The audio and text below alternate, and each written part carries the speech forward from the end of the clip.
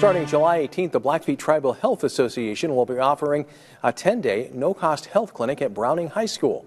And today, military members who will be staffing the clinic arrived in Great Falls. MTN's Tommy Lynch spoke to those involved and has more on Operation Walking Shield. On July 18th, Operation Walking Shield will be taking place in Browning High School, where U.S. service members are giving no-cost healthcare services to anyone and everyone. This is an opportunity to get out and help people in our own communities here, right in the United States and its territories.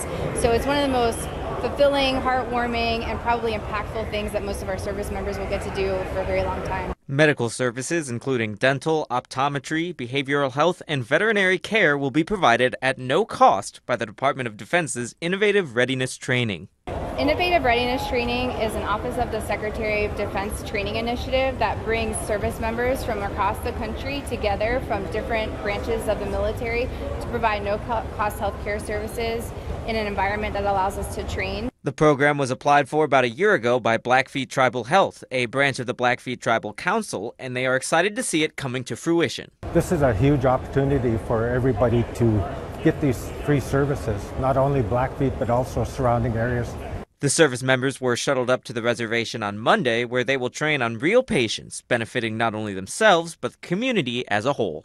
So typically when we train on a mannequin, we just kind of do our procedure and walk away and there's no long-term lasting effect. Here, we get to not only get the training that we need and the collaboration that we need, but the long-term effect is that patient walking away with a pair of glasses that they did not have to pay for or a spayed or neutered cat or dog they may not have been able to get otherwise. Service members are excited to be able to give back to the rural communities of the country that they dedicate their lives to.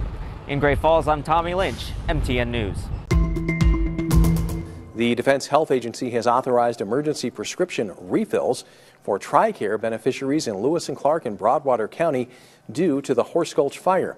To receive an emergency refill of prescription medications, beneficiaries should take their prescription bottle to any TRICARE retail network pharmacy. If the bottle is unavailable or the label is damaged or missing, beneficiaries should contact Express Scripts Incorporated or their retail network pharmacy for assistance. The emergency refills are authorized through July 23rd. TRICARE is a health care program for active duty service members, National Guard and Reserve members, their families, and military retirees.